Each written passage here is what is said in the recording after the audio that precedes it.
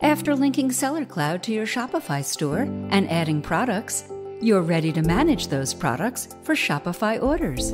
First, open Inventory and choose the Manage Inventory option. Alternatively, you can just use the global search from anywhere to find the product. Open the product under the Inventory module so you can add quantity. Then open the toolbox and find Warehouse.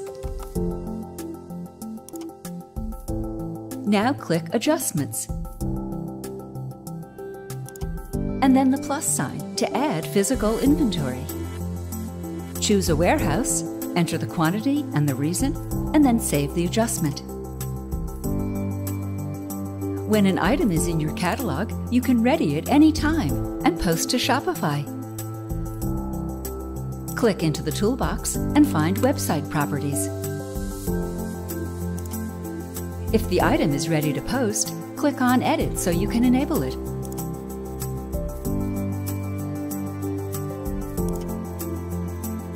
And then save when you're done with that.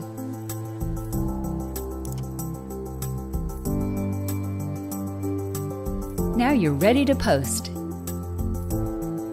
Just choose Post to Website from the Action menu.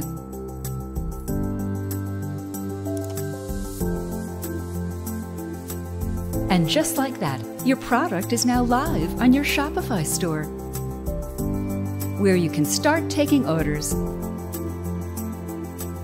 Thanks for watching. Be sure to subscribe to receive the latest updates and information. Contact us today to speak to a representative.